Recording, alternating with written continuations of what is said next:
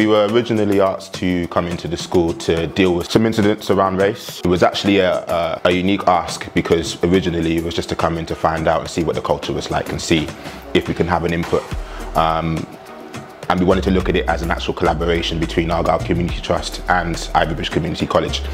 Um, so from that we decided to create a student council and with that we wanted to look at how we could not just affect people's ideas within the school, but also actually affect policies. One of the biggest things that was birthed from the group was the idea of Culture Fest. What we wanted to do was use that as an opportunity to celebrate. We wanted to, to use that as an experience for young people to be proud of their culture, but at the same time use that as an educational piece to, to let everyone else know about the, the do's and don'ts um, and to make people more aware of those little microaggressions that, that a lot of young people face within the school, as well as obviously the more direct forms of racism that they also experience as well. So from that, we decided to bring in various different um, organisers. Um, so DBI were involved, Hope Plymouth Cruising Flavours. We wanted to really kind of show a lot of young people the various organisations that have been successful within the Southwest. Um, and not just that as well, but create different pathways and potential opportunities to link in young people as well as um, adults into these organisations too.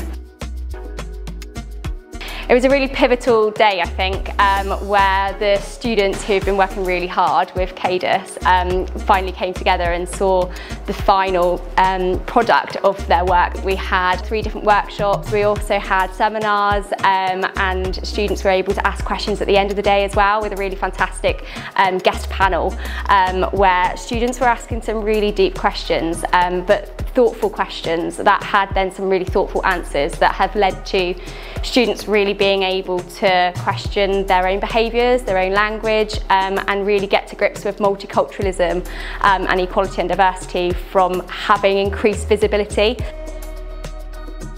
We were looking for increased visibility to encourage students to empathise with one another, increase their compassion, increase their respect for one another. Working towards Culture Fest as well has seen a massive change. There's been a lot more focus on anti-racism strategies as a whole um, and staff have really been engaging with that um, with staff training as well, which the students played a massive part in as well on the lead up to Culture Fest.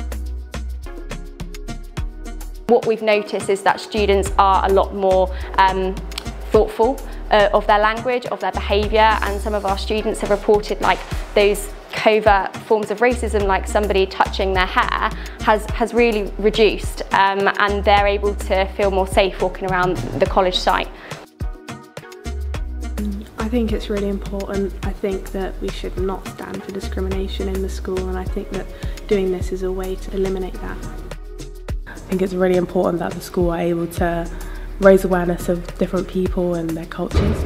I would say that since this has started and since we've sort of been talking about this, I'd say I'd say that my in my personal experience the uh, the experiences that I've had have certainly decreased. So I've definitely had like less people touching my hair.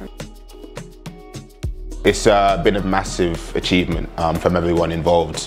One thing that I've realised is the power of collaboration. So Argyle Community Trust as a whole with our ED&I um, focus, as well as Ivybridge and, and them being proactive in terms of dealing with this issue and actually looking at how that can change systemically um, and knowing that these young people have had a massive impact in that is their ideas which we've just, we've just tried to find a way to, to make it happen.